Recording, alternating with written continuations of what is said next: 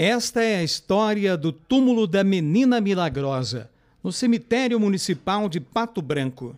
Os cemitérios sempre têm histórias para contar. Aqui no cemitério municipal de Pato Branco, uma das histórias que a gente pode contar é da Zélia Josefina Menegassi.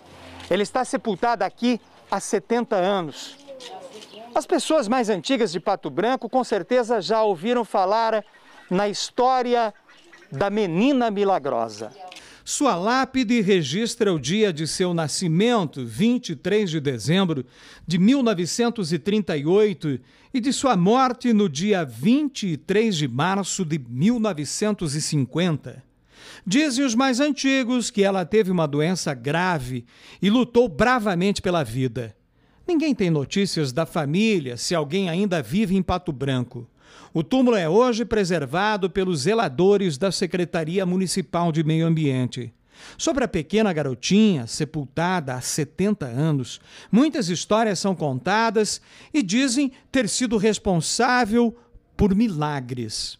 O zelador do cemitério municipal, Ronei Nunes Mendes, trabalha há 20 anos no local e ouviu falar muito da menina milagrosa e testemunhou histórias interessantes. Ouvi falar que a pessoa que põe essa cerâmica aqui, ele sofria de um câncer.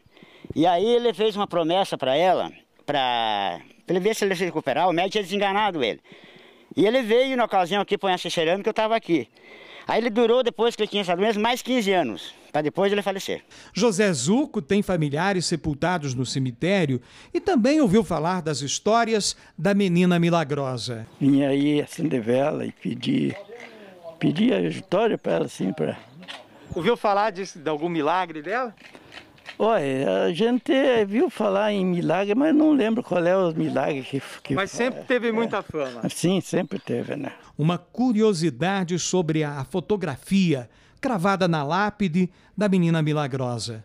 Do lado que você estiver, o olhar da criança lhe segue, com um sorriso de pura candura.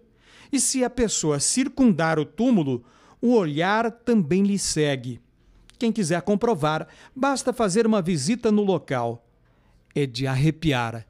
Acredite, se quiser.